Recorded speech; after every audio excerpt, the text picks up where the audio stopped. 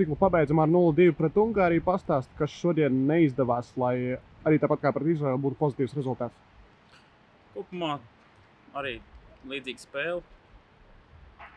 Spēlējām arī no aizsardzības. Bet Izraels sanāca izturēt labu pirmo puslaiku, kas lika pretiniekam panervozēt. Šoreiz tas nesanāca, varbūt tas kaut kā ietekmēja. Un jā, arī Izraela bija, manuprāt, labāks pārējais no aizsardzības uzbrukumā, kas ļāva teikt, mums nenosēsties. Šodien kopumā līdzīga spēle, taču rezultāts ir 0-2. Var teikt, ka Izraela un Ungārija kopumā līdzvērtīga līmeņa komandas. Nebija dižas starpības, pret ko spēlēt. Diezgan līdzīgs, jā. Tā būtu taktiski kaut kādas izmaiņas, bet tā diezgan līdzīga. Par eh, tevi iznāca uz maiņu, pēc tam uh, arī tika nomainīts otrā puslaika beigās. Uh, Pastāstiet kopumā, kā vērtēt savu sniegumu. Lai pasakā, nu, neizdevās iet spēlē, kā gribēju. Protams, ka gribējās nospēlēt labāk, taču paldies trenerim, ka deva iespēju. Jāturpina trenēties. Arī izlasē, kur uh, komfortablāk sevi redzi spēlēt vairāk kā pusi aizsargs pa visu malu vai kā tagad, ka esi malējs aizsargs. Nu, kopumā es uzskatu, es varu spēlēt gan kā, gan kā malējais pusargs, gan kā aizsargs. Malē, malējais spēlētājs, manuprāt, ir mana tā teikt īstā vieta. Tā kā, kur treneris ieliek, tur spēlē. Kā kopumā ciklu novērtēs sev komandai, jo tomēr pēdējā spēle tagad var pielikt punktu šim?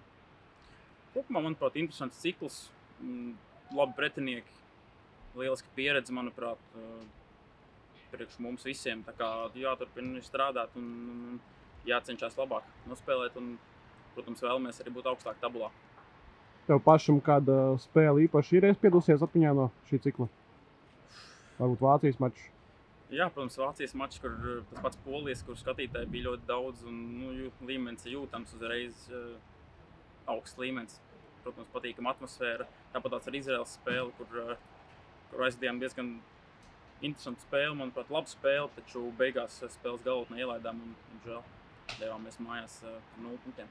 Taču Nav varbūt neierasti tagad apzināties, ka līdz nākamajai spēlei oficiālajai desmit dienas, kad uh, klubu sezona uh, atsāksies.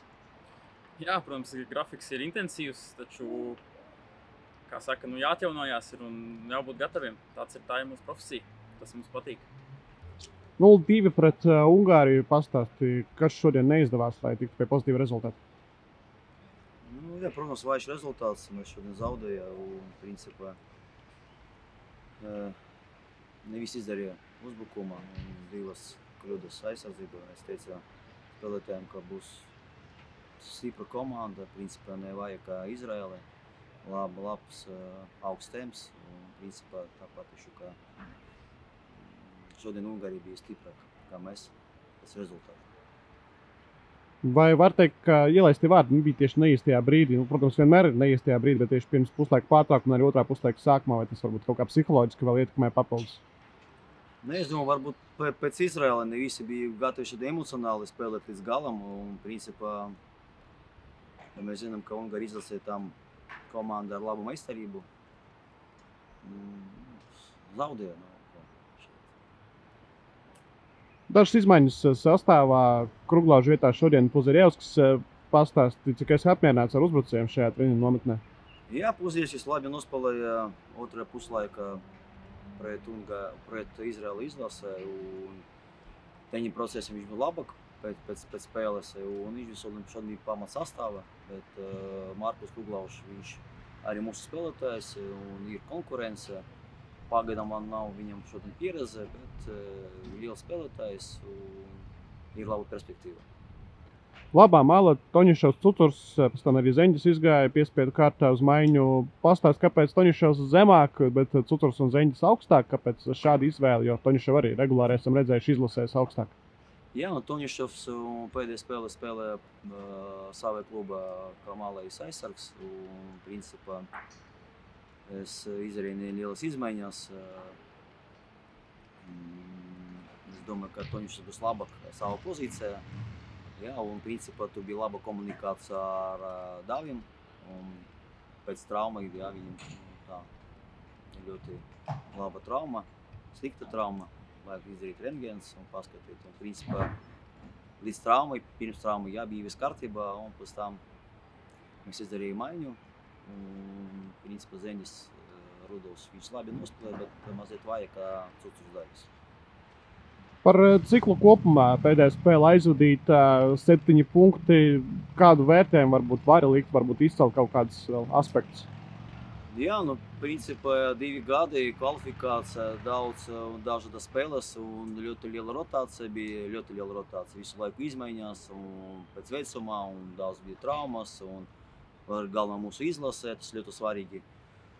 Nu, ir spēles, kur mēs labi nospēlējām, bet nebija rezultāta. Bija spēles, kur mēs ļoti vāji nospēlējām. Nu, tā pateikšu, varbūt tas bija ar Poliju izlasē, Polijā. Ja šeit es pateikšu, ka mēs varam labāk spēlēt.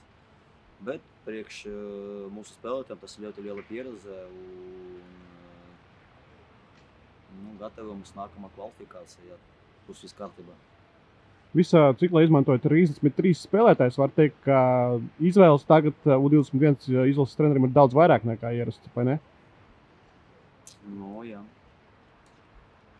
Tas vairāk saistīts ar to, ka virslīgā ir vairāk komandu, vai varbūt vēl kādu aspektu var izcelt. Nu, par virslīgu es pateikšu, ka principā, ja mūsu spēlētāji, viņiem ir praksa, viņi spēlē virslīgā, viņi principā gatavi funkcionāli visi. Tas ļoti svarīgi priekš izlasēji. Viņi gatavi spēlēt, un tas ir galvenais komponents. Jā, moments varbūt uh, emocionāls fons, un kā viņi gatavi spēlēt visu, visu, visu laiku, divu puslaiki augsta tempā, tas ir jautājums. Un uh, varbūt jau par uh, nākotnes plāniem O21 izlasē, vai ir varbūt jau kaut kādas skices. Jā, nu pagaidām šodien ir um, divas logas, UFO logas, jā, tas septembrī un, un novembrī. Plāni ir, bet pagaidām vajag padomāt, vai teņa nometnē būs, vai būt, varbūt divas drausmas spēles, abi kontrols spēles.